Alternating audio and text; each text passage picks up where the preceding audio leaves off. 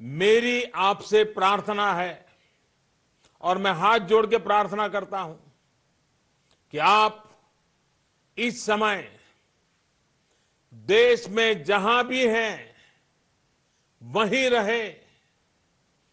अभी के हालात को देखते हुए देश में ये लॉकडाउन 21 दिन का होगा, तीन सप्ताह का होगा।